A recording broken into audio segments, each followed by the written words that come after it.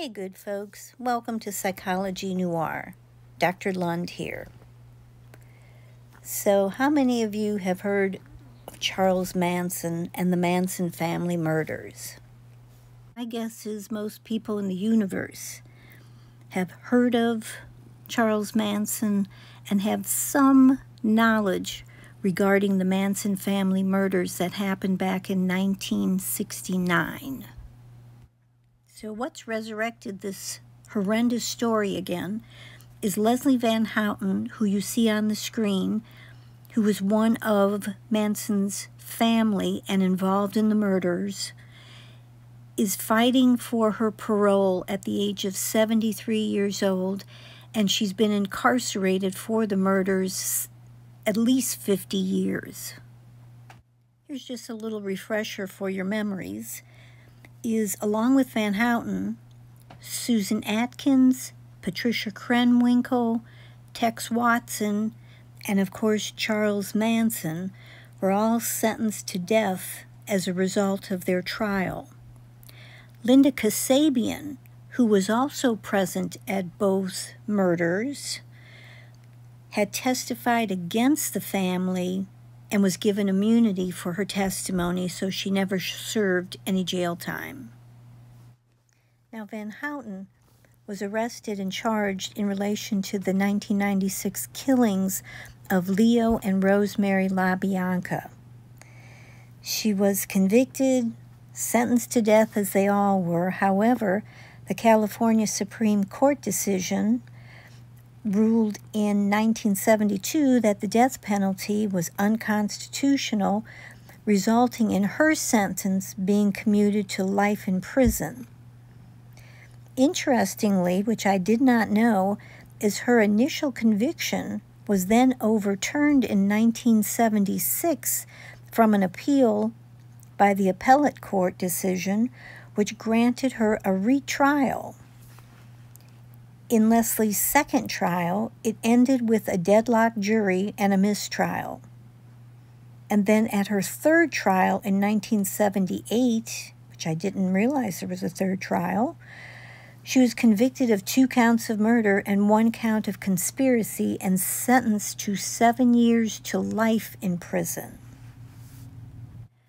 However, under this conviction, after seven years, she would be eligible for parole.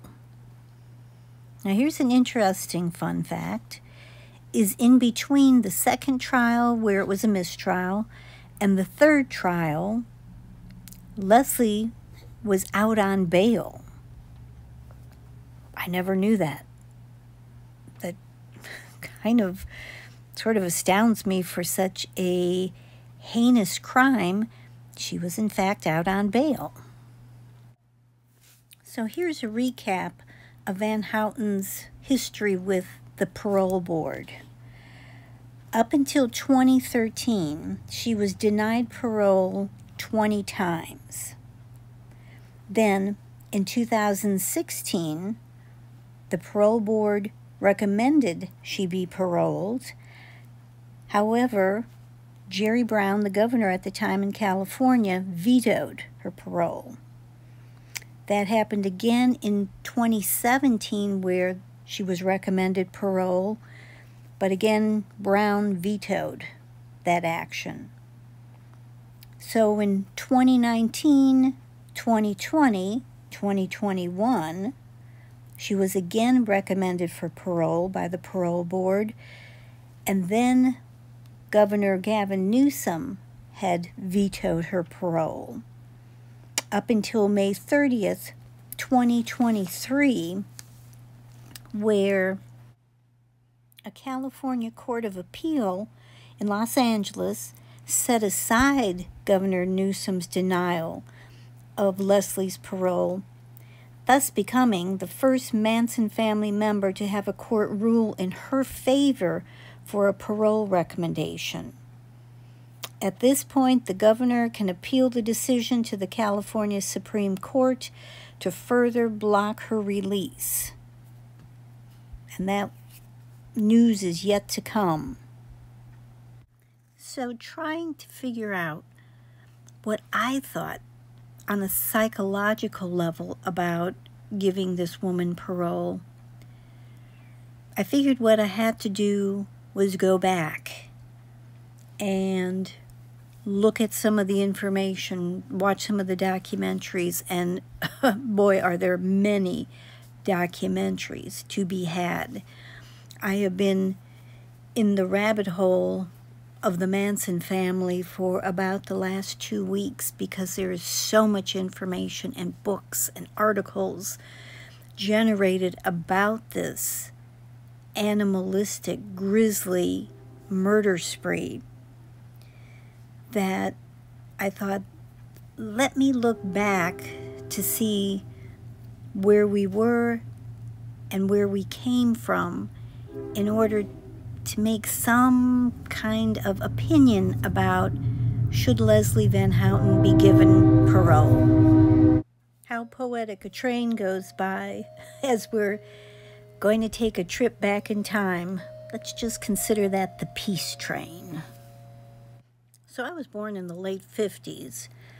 So the 60s, that decade, I was mainly preteen and really not aware of what was going on.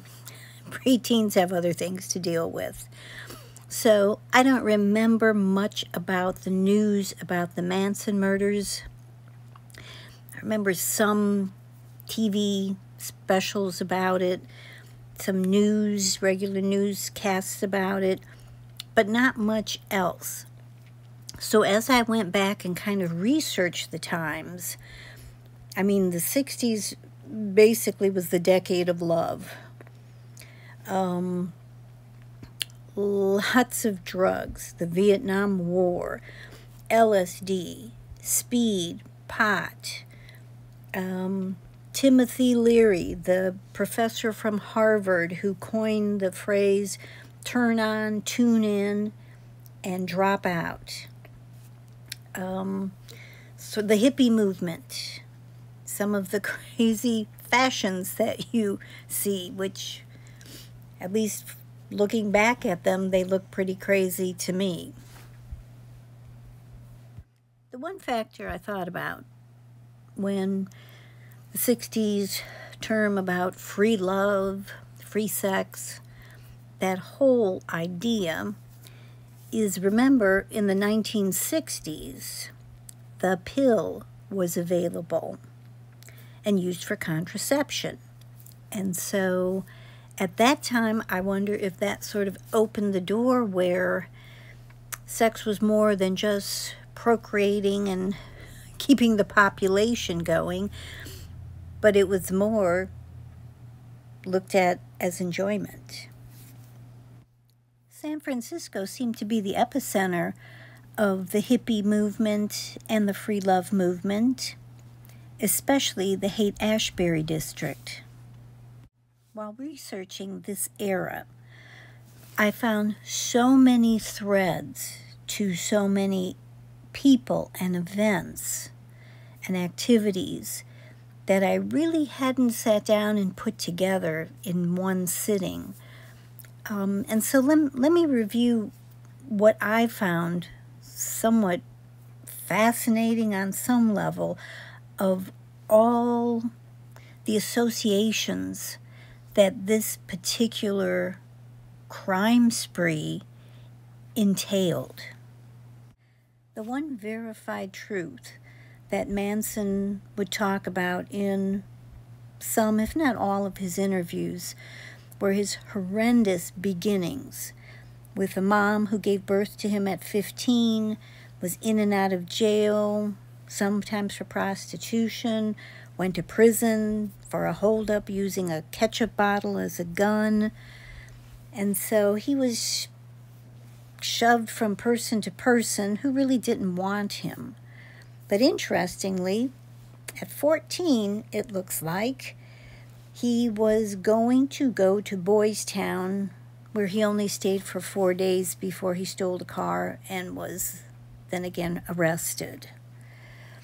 So, on some level, I can see where he developed a skill, especially during the 60s, where kids were rebelling against parents and the establishment, where he had lived through really being on his own and being incarcerated and having to manipulate his way, be bullied, taken advantage of, and deal with a host of different types of abuse,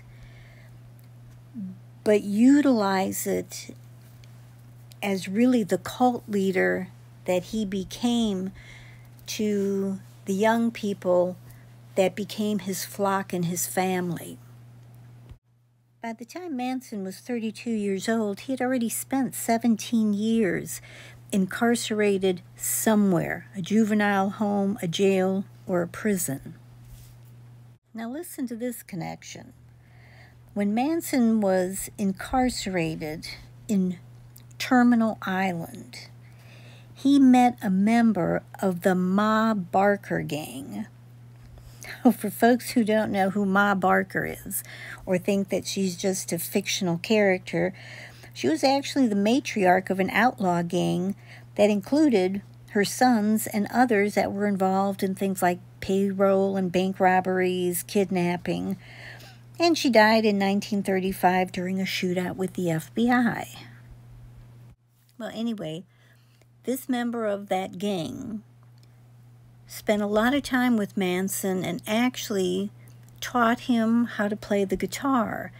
And so this really was kind of his first connection to music, songwriting, singing, something that becomes very significant at the time of the murders. One thing I found really interesting was that in 1967, when Manson was slated to be released from Terminal Island, he asked them to let him stay, citing that he didn't know if he would be able to make it on the outside because he had been incarcerated most of his life. And of course, legally, they had to let him go. And this was two years before the murders. Now, after Manson gets out of prison, and forms or starting starts to form his family, so to speak, it is just remarkable how worlds collide. That during this time is when two of his female family members hitchhike and meet Dennis Wilson of the Beach Boys, who takes the girls back to his house goes off to do some recording, comes back, and most of the Manson family is now in his house. And so these folks lived with Manson, I'm sorry, lived with Wilson for months and months. They weren't just casual acquaintances. In fact, Dennis Wilson took Manson around and introduced him to a lot of music moguls um, and really believed that he had talent. In fact, he thought he was so talented that the Beach Boys actually took one of Manson's songs, retitled it, changed some words, and put it on their 2020 album. But Wilson also introduced Manson to Terry Melcher, who was the producer of The Byrds, as well as Paul Revere and the Raiders, and whose mother was Doris Day. Although Dennis Wilson convinced Terry Melcher to give Manson an audition, thinking he had talent, Melcher heard some of Manson's songs, but wasn't really impressed, and pretty much put him off and never offered him a record deal. So, between being put off by Melcher and then finding out the Beach Boys basically stole one of his songs and gave him no credit, Manson was getting pretty fueled and fired up by all the disappointment and lies from the music industry. And interestingly, Melcher and Candice Bergman lived in the house on Cielo Drive where the Manson family committed the first night of murders, but had rented it to Sharon Tate and Roman Polanski, who, of course, Sharon Tate was murdered there. And as most folks know, the Beatles' White Album seemed to be sort of the banner that Manson chose to carry with Helter Skelter, which incidentally was the name of the book that the prosecutor, Vincent Bugliosi, um, had written about the trial and about the murders. Again, as more worlds collide, I always wondered how the police figured out it was the Mansons group. But coincidentally, Susan Atkins, who was a member of Manson's family and who was arrested for a different murder of Gary Hinman, bragged to another inmate in jail about the murders, and that inmate then turned Atkins in, who basically gave the story of the two nights of murders and who and how they were committed. In another collision of worlds, as the trial was going on, President Nixon, in the speech he was giving to the country that contained or included these murders, basically said that Manson was guilty, which stopped the trial because as that happened, as Manson was in court, he held up a newspaper with the heading that Nixon claims Manson is guilty. As I said, that stopped the trial. The jury had to be then polled and questioned about if that statement from the president would influence anything about their verdict and their decision making. wow. And you may be asking, what does the Lennon sisters have to do with the Charles Manson murders? Or you may be asking, who are the Lennon sisters? And if you were a fan of Lawrence Welk back in the day, the Lennon sisters were a group of four sisters from a family of 11 that were basically the featured stars of the Lawrence Welk show. But because of the fear and the trepidation and the panic that the Manson murders caused during the month of August in 1969, by happenstance, and a horrible happenstance, the father of the Lennon sisters was murdered by a stalker during that month. And at first, it was believed there was some connection. However, after investigations, etc., etc., it was found that there was, in fact, no connection with the murder of the Lennon sisters' father and the Manson family. Again, what a weird, weird situation, a horrible situation, but all these threads, and these are just some of the threads that I thought were really kind of interesting, and many of the details I didn't know until I again went down that rabbit hole. One of the sentiments I had heard in different newscasts or documentaries from the past about this case was that it was a facilitated by a change in culture, a change in attitude. And sort of without those factors being a perfect storm, this kind of mind control, uh, brainwashing, if you will, cult behavior could never happen or happen again.